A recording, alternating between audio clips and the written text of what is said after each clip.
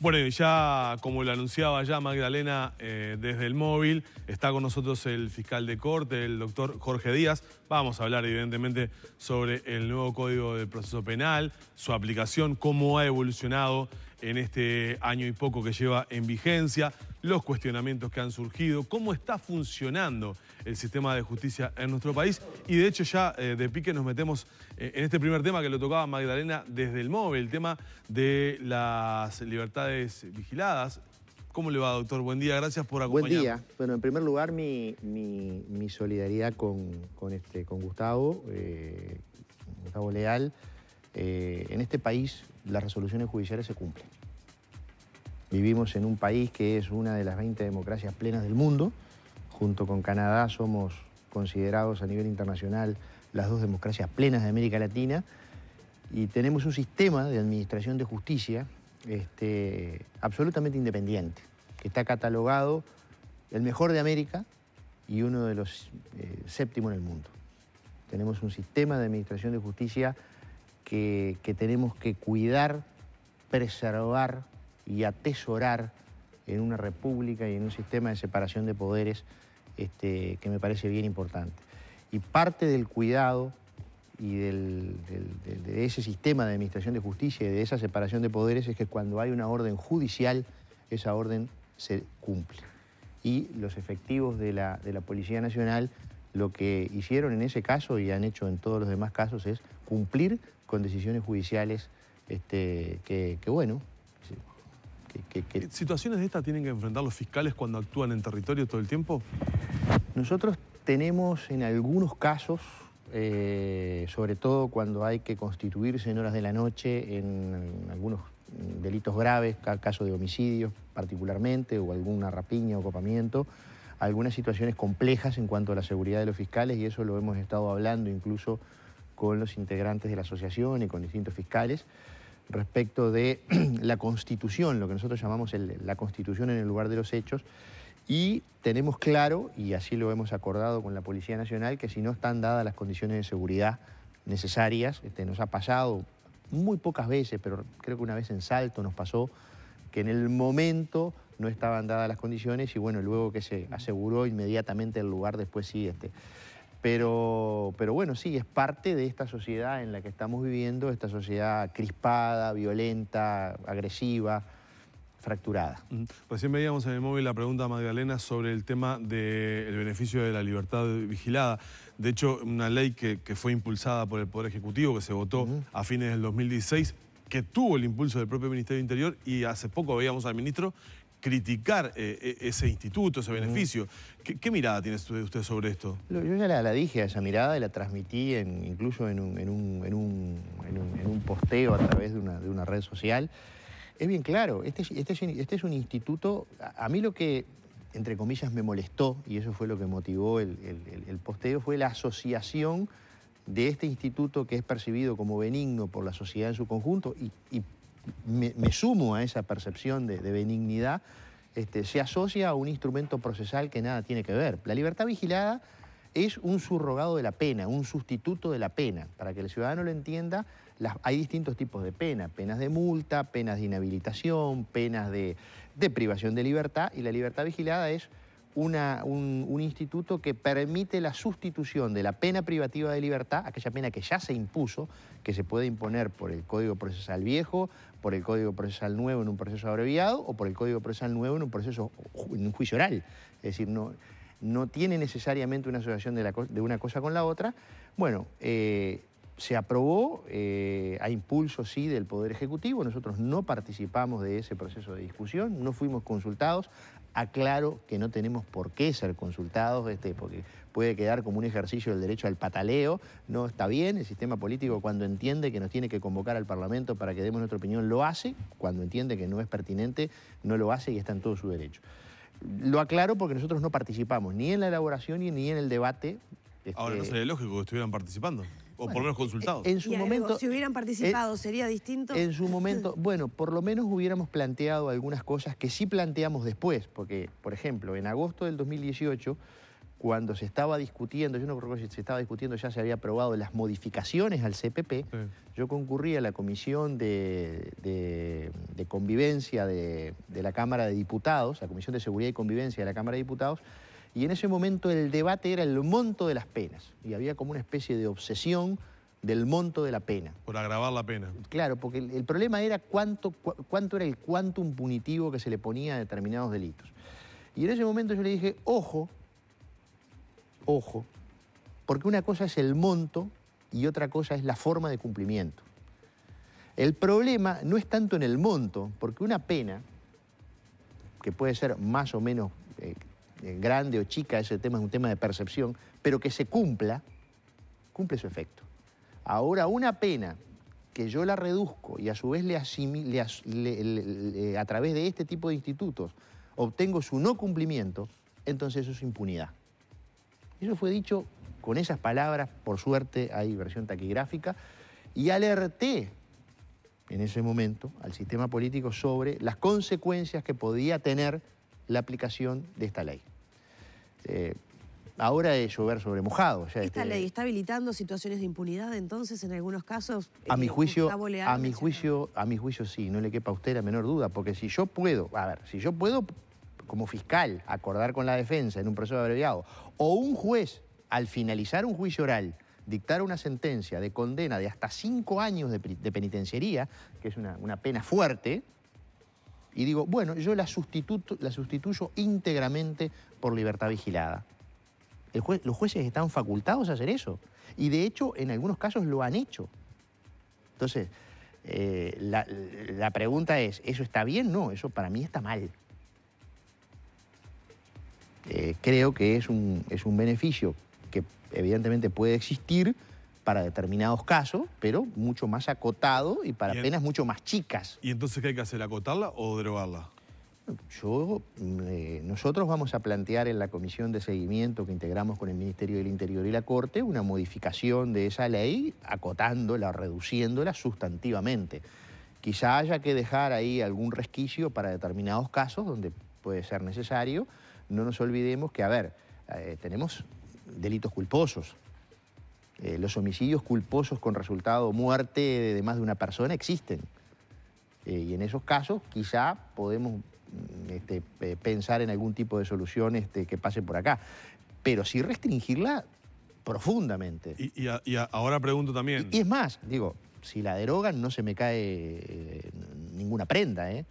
pero en principio nosotros iríamos o propondríamos, sugeriríamos una modificación sustantiva en una reducción muy fuerte en ese sentido. Y ahora pregunto también... De la libertad vigilada. vigilada. De ese instituto que, vuelvo a repetir, está previsto no en el código, sino en una ley anterior. Claro, y la pregunta que yo le hago es, ¿la libertad vigilada se cumple efectivamente? Es decir, ese es el otro problema. ¿Se hace el seguimiento correcto? Ese es el otro problema que nosotros también planteamos. Porque los operadores hablan de que, no, se hace un seguimiento. Pero, no, precisa que lo digan los operadores, lo dijo, lo dijimos en, en esa reunión, en la primera reunión. Es más, la semana próxima tenemos una reunión Poder Judicial, Fiscalía y Ministerio del Interior en esta comisión de seguimiento eh, no, no, la, no la plenaria, vamos a decir, pero los técnicos de las tres instituciones para hablar precisamente de la OSLA, o la Oficina de Libertad Asistida, que es la que tiene que controlar.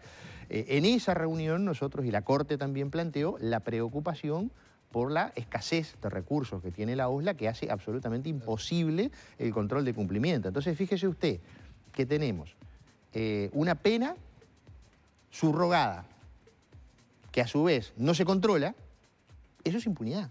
Y eso es lo que no queremos. Pero eso no es responsabilidad del fiscal A o B o Z. Es responsabilidad, en definitiva, de la aplicación o la aprobación de un instituto sin los mecanismos, o sea, sin tener en cuenta las consecuencias que ese mecanismo va a tener. Y la misma ley que creó el instituto creó la OSLA. Ahora, a la OSLA nunca le dimos los recursos necesarios para poder cumplir con el instituto. No sé si soy claro en lo que estoy diciendo. Entonces, me parece que a la luz de la realidad actual, lo que hay que hacer es reforzar la ola, pero al mismo tiempo ir a una modificación que restrinja la posibilidad de aplicación de ese, instituto. Yo en eso, le vuelvo a repetir, lo dije en, en agosto del año pasado. Se ha advertido también de estas modificaciones que van generando el CPP, un, un franque. Eso no es CPP, vamos a entendernos. Esto es, esto es una ley que venía de antes, que no fue derogada expresamente y que el 100% de los operadores del sistema entienden de que como no hubo una derogación expresa, siguió vigente. Pero ahora...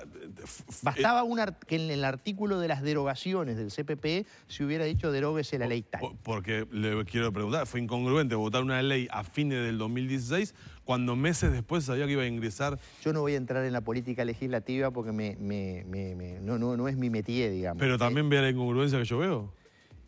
Y bueno, es un poco ilógico, sí. Pero bueno, está. Este, lo que hay que hacer ahora, a ver, vamos a dejarnos de cuestionar a ver quién generó el problema y vamos a resolver el problema. Me parece que los ciudadanos lo que están esperando es que los que tenemos responsabilidades públicas trabajemos para resolver los problemas. Y en eso estamos, y estamos todos los días arremangados trabajando.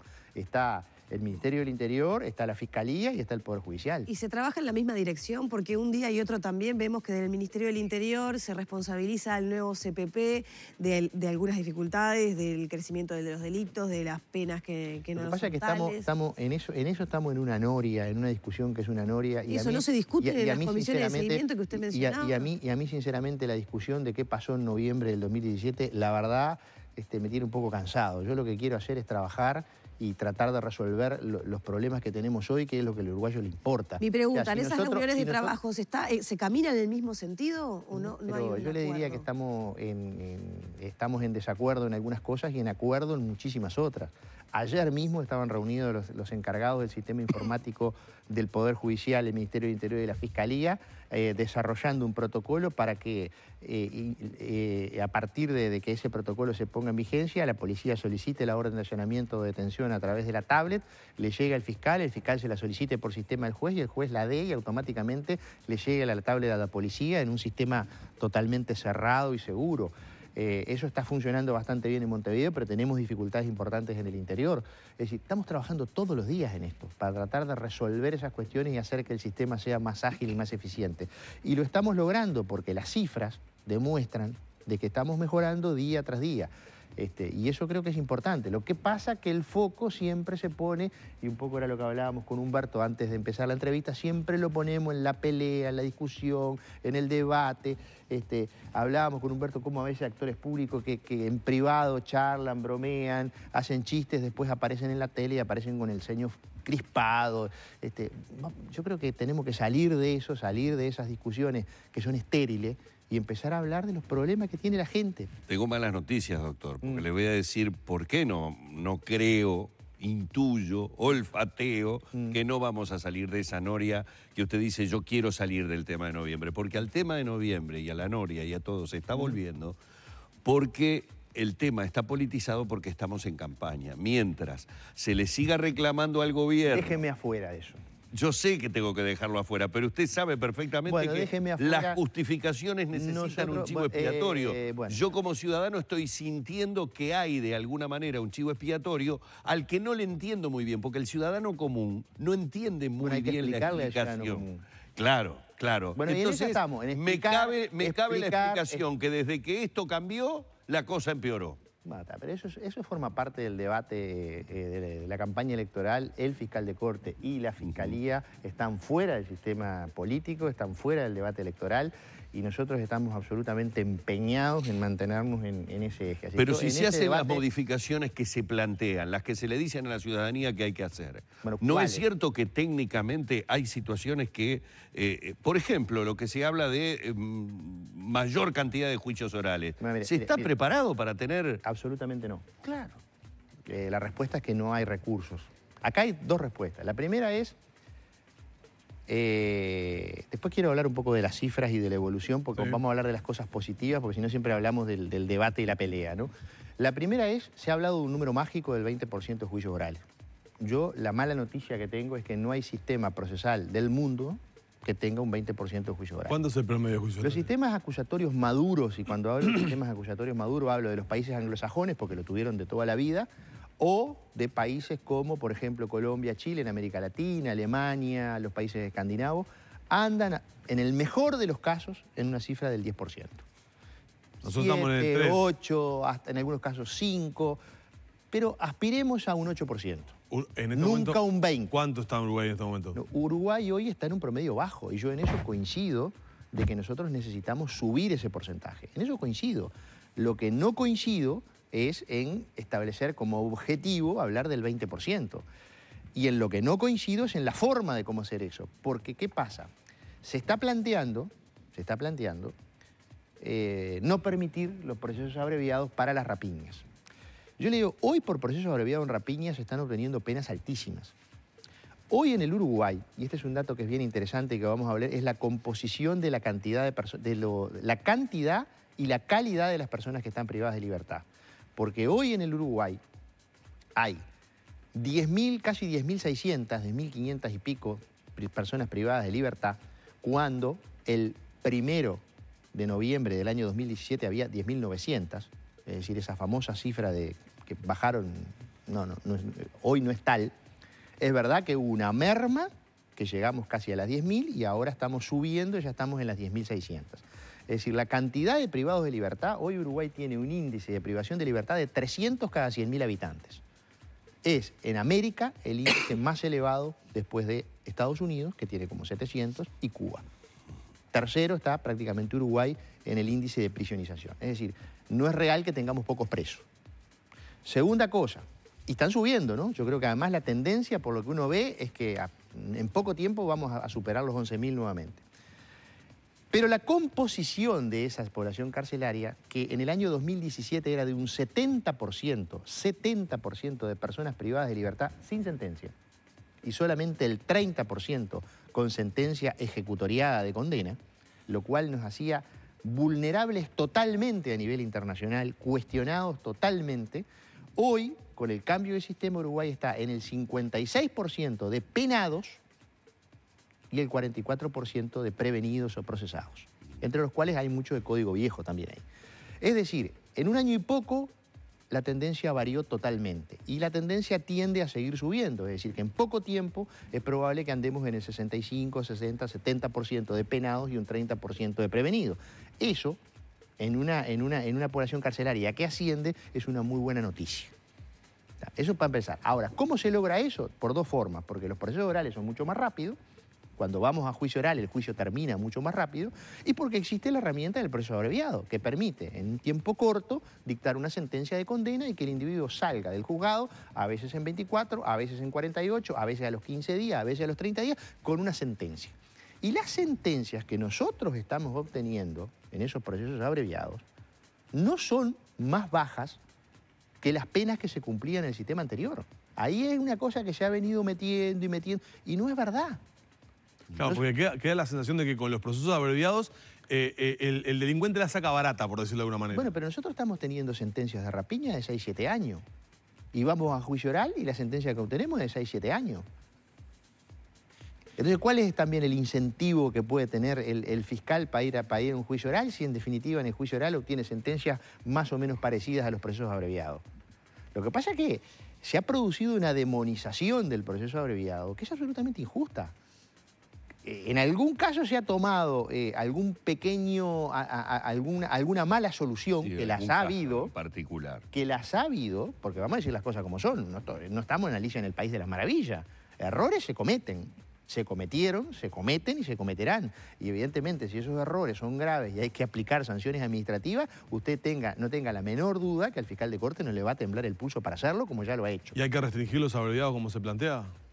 Yo creo que no, creo que ese tema no hay que tocarlo. Lo que sí hay que tocar es algo que a veces se menciona como abreviado, porque a ver, yo he escuchado que los abreviados andan en el 90%, eso no es verdad. Técnicamente los abreviados andan en el 60%, el 20% son suspensiones condicionales del proceso, que no es un proceso abreviado, es un acuerdo, pero no es un proceso abreviado, es lo que era antes el procesamiento sin prisión. Es decir, se lo formaliza, se le impone una condición si el individuo cumple con esa condición, bueno, el proceso se termina ahí. Si el individuo no cumple con la condición, el proceso sigue. Antes se los procesábamos sin prisión, seguíamos el proceso, dictábamos una sentencia que nadie leía, nadie le importaba y que, y que nunca se cumplía. Pero estábamos contentos porque había un procesamiento. Ahora, lo que sí hay que limitar es el instituto de la suspensión del proceso a prueba. Eso sí hay que limitarlo. Eso debería regir solo, exclusivamente para primarios, yo diría, si ustedes me permiten la expresión un poco académica, primarios de solemnidad. Es decir, aquel que nunca en su vida, como pasó hace pocos días, un individuo de 63 años jubilado, 63 años, hombre de trabajo, jubilado, nunca había cometido un delito en toda su vida. Si a los 63 años sos primario y cometés un desliz, se supone que no sos un delincuente habitual, por lo menos, ¿no? Entonces mereces quizá, depende del delito, obviamente, este era un, delito menor. Usted habla este, del caso de la receptación. Y que eh, hablo de ese caso que yo creo que la solución no fue la más feliz, pero, también es, eh, pero también es verdad este, yo creo que no fue, fue una solución este, absolutamente infeliz, pero bueno, de todas maneras, este, hay un dato de la realidad. Eh, estábamos hablando de una persona de 63 años que había sido empleado municipal toda su vida, que se jubiló y que compró una bordeadora que sospechó que podía tener un origen ilícito. Ese era el, mal que cometió este individuo. Ahora la pregunta es, ¿lo mandamos a la cárcel? ¿Solucionamos algo mandamos, mandando a la cárcel a ese individuo? Eh, bueno, es una buena pregunta. Yo creo que en algunos casos tenés que tener esa posibilidad con condiciones más razonables no esta que se... Si es cocinero y va a un comedor a cocinar un mes, ya está. Exacto. Y si hace tortas fritas queda medio raro. Eso queda medio raro. Yo estoy de acuerdo con usted. ¿eh? Mire que yo le dije, no es Alicia en el País de las Maravillas. Este, vamos a decir las cosas claras. No, porque además el que esté libre de pecado que tire la primera piedra. Porque entre pero, todos los pero estos hechos terminan caricaturizando... Exacto. Y ese es el problema. Ahora, eh, usted como verá, en mí no va a encontrar a alguien que diga nosotros hacemos todos perfectos, los que se equivocan son los demás. Nosotros nos equivocamos. Ahora los demás también se equivocan. Hay un juez que homologó eso, ¿no? Nos hacemos cargo. Bueno, eh, yo creo que no sé si el magistrado tenía otra opción que homologarlo. Este, habría que yo ahora pedir los antecedentes para revisarlos bien, a ver, este, pero, pero salgamos de la anécdota, salgamos del caso puntual. Sí hay que limitar la suspensión del proceso a prueba. Vuelvo a repetir, para primarios de solemnidad, si ustedes me permiten, no es un término jurídico, lo, acabo de inventar si usted quiere, y para aquellos casos, obviamente, de delitos menores, este, y bueno, eso hay que limitarlo, pero eso hoy anda en el 20%. La ley permite, y está mal, que una persona que haya tenido una vez el beneficio lo pueda tener de nuevo. Eso está mal corrijámoslo, sin duda. Vamos a Pero hay otras correcciones, además, que hacen a la operativa de las que no estamos hablando, porque nosotros tuvimos un mal comienzo. Eh, a eso quería apuntar, a lo que usted dijo. en noviembre del 2017, punto de inflexión. Perdón, perdón. Y usted tiene números hasta febrero que los quería alargar. Y como mm. yo sé que lo están esperando además con alguna otra pregunta, eh, no quiero... Él dijo, claramente dijo el fiscal eh, permítanme... De, las buenas. De tirar por lo menos alguna cifra de las buenas. Tiene 30 segundos. No, no, no, pero está, viene bien no, pero está bien para, comparar. con, los famosos procesamientos anteriores. Ahí está, vamos a eh, comparar. a ver, eh, digamos las cosas claramente. nosotros hoy en el mes de febrero, por ejemplo, tuvimos 1.211 formalizaciones y en el promedio de los últimos seis meses, para no aburrirlos con cifra, estamos, el promedio de los últimos seis meses son 1.113 formalizaciones por mes. 1.113 por eh, mes. Eso nos da un 13.000 por, más o menos 13.000 por año, y eso es superior o es igual al mejor año del sistema anterior y es superior largamente al promedio del, sistema anterior. Es decir, hoy el sistema eh, procesal eh, capta o, gestiona mayor cantidad de casos que el sistema anterior en cuanto, o sea, tiene, hay más formalizaciones que procesamiento. Ese es el primer dato. Eh, obviamente hubo un mal comienzo, ustedes fíjense en que arrancamos en 400 y poco, en noviembre del 2017, subimos a 500, fuimos subiendo y ahora nos hemos estamos en ese promedio de 1100 que nosotros estamos convencidos que incluso lo podemos superar. Esto lo hemos hecho con recursos que son escasos. Ustedes no se olviden que nosotros en el año pasado requerimos al Parlamento Nacional un incremento presupuestal de 300 millones de pesos, que incluía 69 fiscales adscriptos, fiscales departamentales, abogados y demás, porque ¿qué nos pasó a nosotros? En el año 2018 nos encontramos con un volumen de denuncias muy superior al que se había estimado. Y se había estimado seria y responsablemente, porque nosotros habíamos tomado los, datos del 2014, los del 2015, 2016, vimos cómo venía creciendo los delitos, porque los delitos vienen creciendo, desde, de, las denuncias por delitos vienen creciendo desde hace muchísimos años, y que tenían un promedio de crecimiento del 5%. Y nos encontramos en el 2018 con un 20% más. Entonces las estimaciones que habíamos hecho que habían, le, vuelvo a repetir, que habían sido hechas responsablemente, no era que se tiró un número a, la Bartola. Y bueno, la verdad es que cuando vimos esa realidad, responsablemente dijimos, bueno, mira, necesitamos más recursos. Necesitamos, tenemos 340 fiscales aproximadamente, bueno, necesitamos llegar a los 400 de forma tal de poder enfrentar esta nueva realidad. La verdad es que nos dieron 60 y algo de millones, este, básicamente destinados a abogados, que los, acabamos de designar, están, están empezando a trabajar.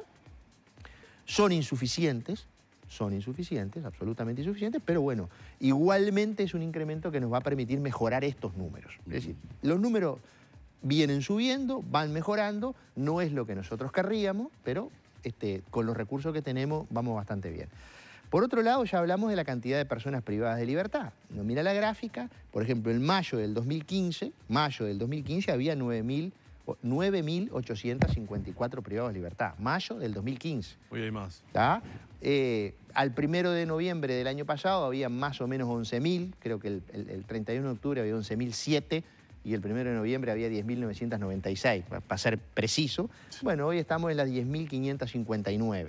Es cierto que una merma y ahora está subiendo, con la aclaración que yo les decía hoy de que hoy el 56% son condenados y el 44% son prevenidos, revirtiendo una tendencia anterior.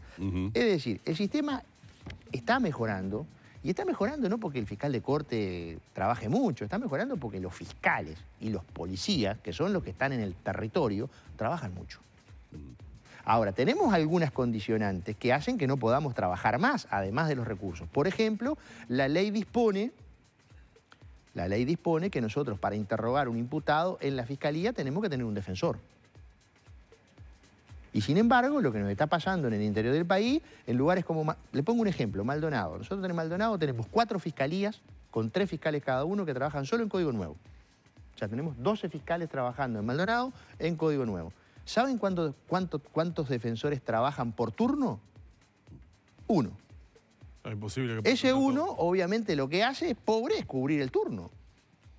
A los detenidos. Claro. ¿Y qué pasa con todo lo demás? Bueno, nosotros le hemos tenido que decir, los fiscales de Maldonado, a veces citan un imputado y le tienen que decir, el hombre no tiene abogado, y dice, bueno, mire, ¿sabe qué? Retírese hoy, no le puedo tomar declaración porque este, no tenemos abogado para tomarle declaración. Eso nos pasa todos los días.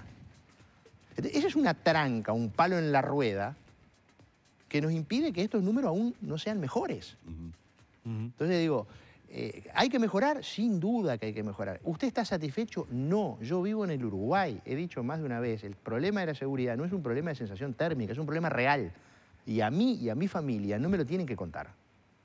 No tiene que venir nadie a contármelo.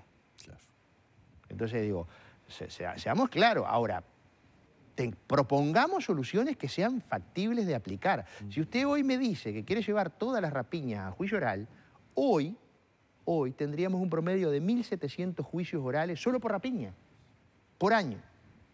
Y creciendo, es decir, la tendencia es que en seis meses tendríamos 2.000 juicios por rapiña, orales por rapiña. No hay recursos humanos para hacer eso, no los hay, no los tiene la Fiscalía, y mucho menos la defensa, porque la defensa pública tiene menos recursos que nosotros. Doctor, eh, yo quiero preguntarle por eh, lo que ha sido tan comentado por estas horas. Eh, como Perdone la, la, pasión, no estoy enojado, soy apasionado, que es distinto. Está bien, está bien, así creo que ha sido entendido. Mm. por estas horas ha sido pública la, destitución del comandante jefe del ejército, Guido Meini Ríos, y a propósito, ayer aquí en esta misma mesa dábamos cuenta de un video que había grabado mm. Manini, que había sido colgado del canal del ejército, donde insiste y vuelve a criticar y muy duro al funcionamiento de la justicia. ¿Qué, reflexión le merece los dichos de Manini? Mire, em, yo le he solicitado al Poder Ejecutivo, mm, a Presidencia de la República, al Ministerio de Defensa, porque no sé dónde está el expediente en este momento, eh, copia auténtica de la nota por la que el señor Manini elevó al presidente de la República las conclusiones del Tribunal de Honor en los casos de Maurente y Gabazo. Eh, ¿Por qué he solicitado esa copia auténtica? Porque quiero leerla en, su totalidad. Eh, en tanto y en cuanto las transcripciones que hay en las resoluciones del Poder Ejecutivo, las resoluciones del Presidente de la República, eh, son, y quiero ser muy prudente, son muy preocupantes. yo lo que dice la resolución del Poder Ejecutivo es que el señor Manini habría dicho que un militar citado por la justicia no tiene las garantías del debido proceso y es condenado en base a conjeturas o convicciones inadmisibles, sin pruebas fehacientes o con pruebas fraguadas o inventadas. Si esto es así, es grave. Eh, voy, una vez que tenga la, nota en mi poder, veremos cuáles son los caminos a seguir. A mí el tema de la destitución del comandante en jefe, esas son cuestiones políticas, institucionales que me tienen absolutamente sin cuidado.